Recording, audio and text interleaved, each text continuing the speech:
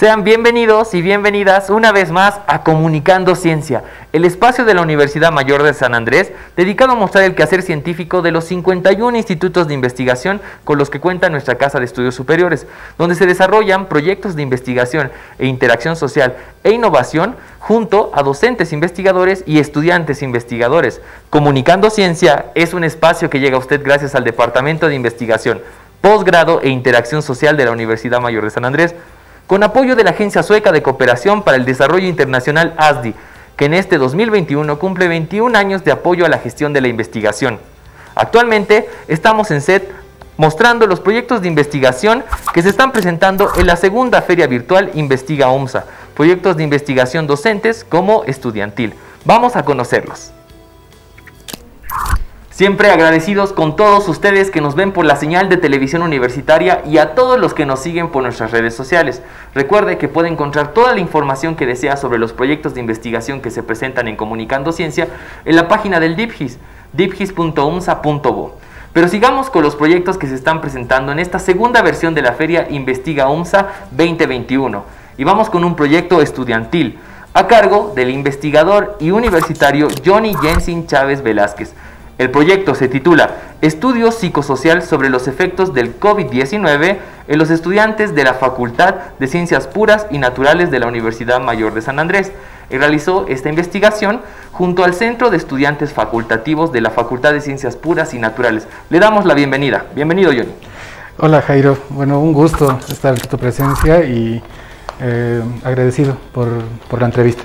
Bueno, nosotros siempre agradecidos con todos los estudiantes y las personas que están viniendo porque lo que nosotros queremos como espacio de, la Universidad Mayor de San Andrés que muestra el quehacer científico es mostrar a los investigadores, como ustedes, los investigadores, los docentes que están haciendo investigación y generan ciencia. Bueno, pues vamos a lo primero. ¿De qué trata el proyecto? ¿Acerca de qué es? Eh, bueno, el proyecto en sí eh, el nombre lo titula, es un estudio psicosocial.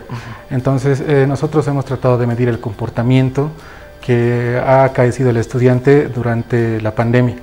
Hemos tratado de enfocarnos no solamente en la pandemia, sino en la época actual e incluso eh, un estudio, digamos, que refleje lo post, lo posterior, cómo piensa el estudiante de aquí en adelante que va a ser. Este estudio se ha realizado eh, más que todo con la colaboración de mi compañero Cristóbal, Cristóbal Franco, que de la mano hemos, eh, eh, bueno, se puede decir que nos hemos batido los dos, obviamente con la ayuda de nuestros encuestadores, Jorge Luis Trujillo, que ha sido de gran colaboración, y el licenciado Luis Fernando Rivero, que nos ha ayudado en la parte del muestreo. En sí, te puedo decir que los resultados que nos han arrojado el estudio son realmente buenos.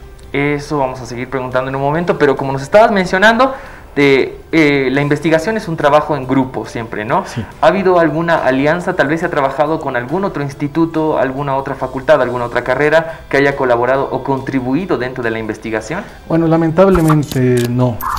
Para un estudiante que tiene las ganas de investigar, a veces es un poquito difícil, digamos, obtener este, este tipo de colaboración. Sí, ha habido eh, digamos, la colaboración de, en ese momento él era el director de la carrera de estadística, Luis Fernando Rivero, y para esto ya que estamos en la etapa del análisis, eh, el licenciado Ronald Condori, que es extra, digamos, a la universidad.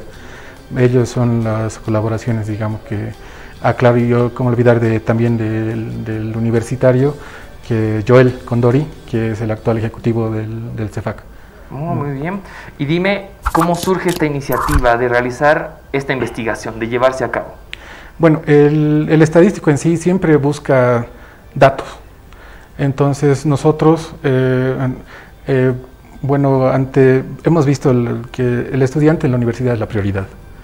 Hemos visto que habían estudios de docentes, o sea, hecho hacia docentes, pero no había estudios dedicados al estudiante en sí. Entonces, para la toma de decisiones es vital que haya este tipo de datos que reflejen la realidad del estudiante. Entonces, nosotros eh, nos vimos en la necesidad de plantearnos este problema y tratar de, solucionarlo. Entonces, es por eso que nace esta iniciativa, que gracias a Dios ha tenido una buena acogida por parte en la encuesta misma que hemos realizado y una buena respuesta en el llenado del formulario virtual por parte de los estudiantes de mi facultad. Muy bien. Y eh, cuando hablamos de investigación, siempre eh, los investigadores se ponen una meta y esa meta debería tener determinado impacto, ¿no? Ahora vámonos a lo que nos estabas diciendo, que tenían grandes resultados y quisiéramos que nos comentes eso para que las personas en casa, las personas que nos estén viendo, sepan específicamente qué resultados has obtenido. Bueno, aparte, digamos, de, los datos de fondo que hemos medido, o sea, esta base tiene mucho para explotar. Ya. Porque la podemos dividir en, por carreras, que ahorita el resultado que hemos sacado es general, es un, un impacto general en, la, en los estudiantes de la facultad pero eh, nos hemos tomado la molestia de eh, poder dividirla en carreras, pero yo creo que eso sería tal vez, si algún instituto se animara, podríamos seguir con la, con la investigación. Pero hablando más propiamente de lo que es el, el, impacto, bueno, ha habido preguntas, por ejemplo, en el ámbito de lo que ha sido en la pandemia, las actividades, digamos que eh, hemos hecho preguntas como qué actividad es la que más has, ha, digamos, ha repercutido en ti para bien o para mal. Entonces, lamentablemente, la mayoría de los estudiantes, todas esas actividades que hemos preguntado como actividad física, tu actividad económica, tu actividad social, eh, vemos que ha sido, digamos, eh, la mayoría ha respondido casi un 40% que ha ido en decremento. Más o menos un 30% ha respondido que es igual y un 10% ha respondido no sabe, no responde y un 10% que sigue igual. Entonces, en ese 50% vemos que la población estudiantil de la Facultad de Ciencias Puras ha sufrido. Ahora, eh, bueno, hemos hecho igual a lo posterior lo que es, eh, lo que es actualmente eh, el uso de mascarillas, barbijos. Hasta ahora, en el momento de la pandemia, casi el 90% no podía acostumbrarse. Actualmente ese porcentaje de acostumbrarse a mascarillas, barbijos, distanciamiento social, lavado de manos, se ha reducido a un 50% pero en, o sea, de las personas que no pueden acostumbrarse. Y en lo posterior, eh, casi el 80% de las personas afirma que puede vivir ya con la mascarilla, el distanciamiento social, lavado de manos de los estudiantes. ¿no? Eh, bueno, hablando igual, le hemos hecho una pregunta más o menos usted, ¿qué tanto puede recuperarse ante las adversidades? Entonces el estudiante, un 70% dice que yo sí puedo sobreponer. Entonces, pero hablando más propiamente del tema, también se ha hecho preguntas directas, como por ejemplo, ¿usted ha sufrido del COVID? El 28% de los estudiantes afirma que sí, casi un 32% afirma que probablemente sí ha sufrido. Entonces, eh, de esto suma más del 50%. Ahora, de estas personas que sí, se les ha preguntado, ¿usted ha ido a algún centro médico o algo? Del total, el 25% solo fue hacerse ver pero eso es en casos extremos. ¿Qué nos indica esto? Que la mayoría tal vez eh, ha estado en sus casas, ha padecido tal vez por falta de dinero o algo y ha pasado la enfermedad. Se les ha preguntado si tienen alguna persona que ha sufrido de COVID. El 70% respondió que sí. El 40% respondió que tuvo al menos un familiar que eh, ha sufrido gravemente del COVID. Y lamentablemente el 25% afirma que conoce o conoció a un familiar que falleció por el COVID. Y ahora eh, tuvimos preguntas también de impacto como que si usted sabe de algún estudiante que haya fallecido por el COVID. Eh, bueno, conocer casi el 60% tuvo conocimiento de un estudiante que, ha fallecido en mi facultad por COVID. Al menos un estudiante eh, fue el 60%, al menos tres estudiantes, que es lo más extremo, el 25%. Obviamente que estas respuestas son relativas, no, no son, digamos que decir que el 60% fallecido, es, son de conocimiento. O sea, a esa persona lo han podido conocer muchos. O sea, y así, o sea, podemos desglosar ampliamente lo que es el, estudio que hemos realizado, pero no sé, tal vez sería un poquito más adentrarnos. mucho más, pero ya con los datos que nos da, eh, nos vemos creo que una idea muy grande. Johnny, coméntanos qué procede después de esto. Se han publicado, se ha publicado toda esta información. Eh, ¿Qué es lo que se piensa hacer con los resultados que se tiene y que se han obtenido? Bueno, eh, eh, por ahora nosotros ya estamos en la etapa de finalización. Es por eso también que nos hemos animado, como ya hemos obtenido ya los resultados. Estamos sacando ya el, para la publicación, tratando de hacer un estudio más extenso para poder publicar. Obviamente esto igual va eh, ahora con, con, la venia del, nuevo decano, eh, Robert Rodríguez, y sigue con el universitario Joel Condori, que igual nos están apoyando en la publicación. Lo que sigue, bueno, lo que sigue sería quizás si este proyecto, digamos, toma la relevancia que, que, que merece, porque en sí los datos son impactantes, tal vez llevarlo a un nivel UMSA, o sea, analizar, que, que, se haga este, este estudio en todas las facultades, que sea a nivel universitario. Yo creo que ahí podríamos tener resultados realmente buenísimos. Justamente, y mi siguiente pregunta iba a eso, ¿no? Si se habían pensado, si tenían miras para trabajar a nivel UMSA, a nivel junto a toda la universidad, porque ahora nos dirigimos simplemente a la Facultad de Ciencias Puras y Naturales, ¿no? pero tenemos 13 facultades en la Universidad Mayor de San Andrés y las cosas pueden haber sido diferentes en otra facultad o tal vez iguales, no, no lo sabemos y eso sería muy, muy interesante y muy eh, beneficioso creo que para la misma universidad estudiar esta clase, esta clase de datos. ¿Se ha pensado trabajar con otros institutos o con las facultades eh, como tal? Eh, mira, en un principio nuestro plan era ese hacerlo a nivel grande, pero hemos visto, bueno, nosotros en sí no estamos trabajando bajo ninguna remuneración es a Es, digamos, una por la intención que nosotros tenemos que, que aprender y de brindarle algo, dejar algo a nuestra institución. Entonces, tal vez si, digamos, nos apoyarían con recursos, con mucho gusto nosotros estaríamos dispuestos a llevar esta investigación a un nivel macro, que sería en este caso la universidad.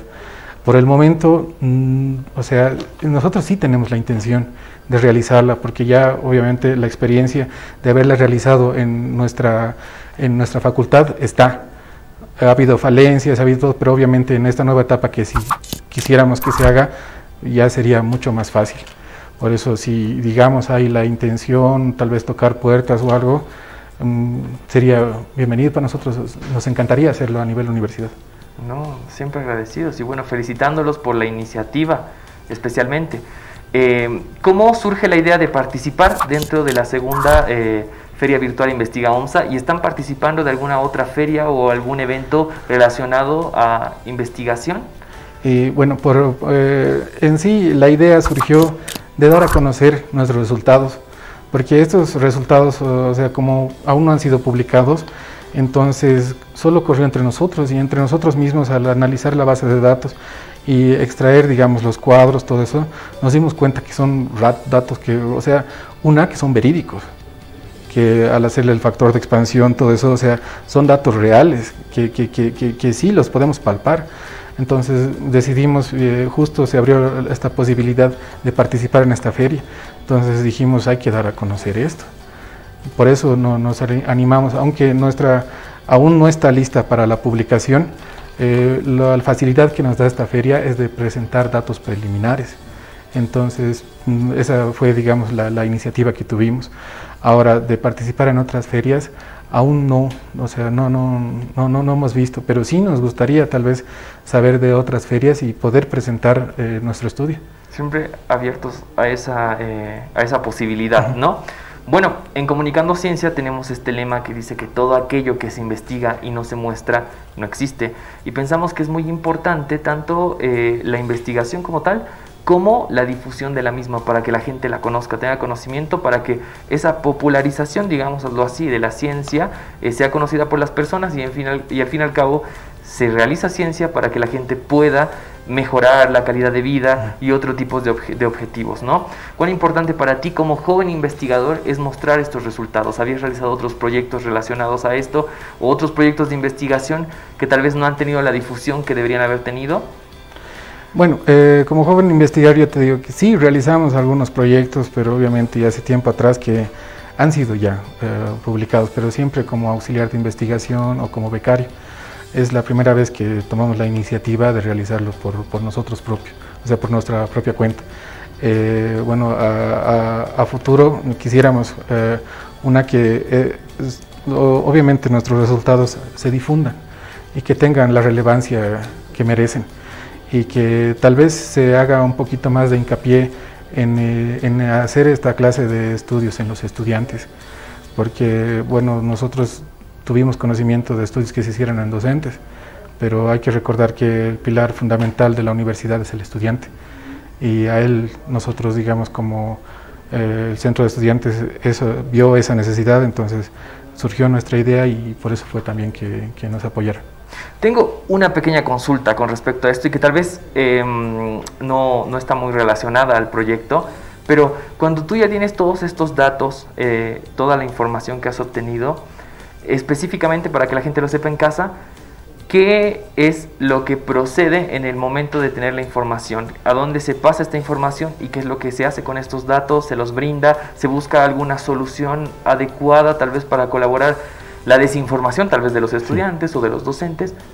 Bueno, eh, en sí nosotros eh, lo almacenamos todo en una base de datos.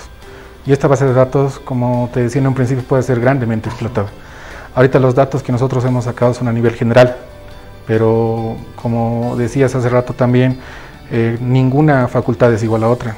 Es también como decir que ninguna de las carreras pertenecientes a mi facultad es igual. Entonces estas diferencias pueden hacerse notar. Ahora de la información, nosotros analizamos eh, la información eh, respecto a lo que estamos estudiando. Por ejemplo, de esta base de datos pueden salir muchas cosas. Por ejemplo, datos sociodemográficos. Eh, por ejemplo, te puedo decir que en mi facultad el 68% viven en la ciudad de La Paz, el, casi el, el 28% en la ciudad del Alto, hay incluso un 0.67% que vive en otros departamentos y de provincias igual, es más o menos un 5% el que está. O sea, puede ser grandemente desglosada la base, pero eh, hablando solamente de esto del, del, COVID y la pandemia, tenemos, como el estudio apunta a eso, podemos, tenemos que abocarnos a eso. Pero luego para sacar otros datos es posible. Bueno, Johnny, estamos agradecidos de tenerte aquí en el programa y de que nos hayas explicado todo esto, pero también vamos a aprovecharte un rato porque sabemos que eres un joven investigador y en la Universidad Mayor de San Andrés se realiza ciencia, se genera ciencia. ¿Tú qué palabras les brindarías a los jóvenes que desean incursionar en el mundo de la ciencia, hacer ciencia? Porque sabemos que muchos piensan o tienen algún tabú de que no se puede hacer, de que es complicado. ¿Cómo tú motivas a estas nuevas generaciones a que hagan ciencia? Bueno, lo principal yo creo que es formarse. Como nos decía un docente, el 50% se aprende en el aula y el otro 50% tienes que aprenderlo tú. Y ahora sí es complicado, yo te digo, a cabo una idea, buscar digamos, la persona, porque tú como solo estudiante no, no es complicado, no es imposible. Siempre las puertas se abren cuando una persona insiste, al logra. Es eh, un poquito, no te digo que toma tiempo, ¿no? pero que no se rindan, que o sea, las ideas hay que llevarlas a cabo. Siempre poco a poco aprendiendo y paso a paso se llega a, quiere. Felicidades, felicidades Johnny. Bueno, acabamos de hablar sobre el proyecto que se ha presentado en la segunda Feria Virtual Investiga UMSA titulado Estudio Psicosocial sobre los efectos del COVID-19 en los estudiantes de la Facultad de Ciencias Puras y Naturales de la Universidad Mayor de San Andrés. Y hablamos con el estudiante e investigador egresado Johnny Jensen Chávez Velázquez. Él realizó su proyecto de investigación con apoyo de la CEFAC, el Centro de Estudiantes Facultativo de la Facultad de Ciencias Puras y Naturales. ¿Quiere conocer un poco más sobre los proyectos que se siguen presentando en la Feria Virtual Investiga UMSA? Pues volvemos después de este pequeño corte.